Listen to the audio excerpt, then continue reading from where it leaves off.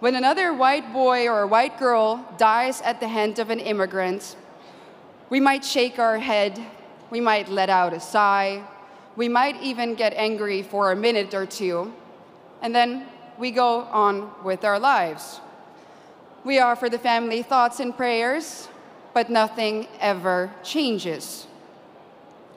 Ladies and gentlemen, what does that say about us? This is the sign, this is a response of a society that has already given up, a society that has already accepted its defeat. But is this true? Have we given up? Do we really accept the new reality that our globalist leaders have in mind for us?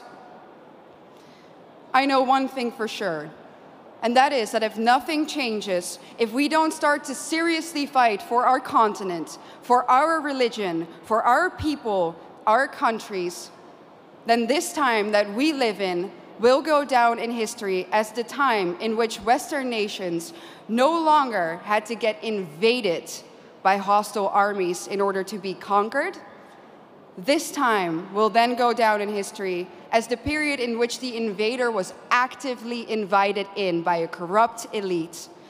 And not only did this corrupt elite invite the enemy in, they made the native population pay for it too.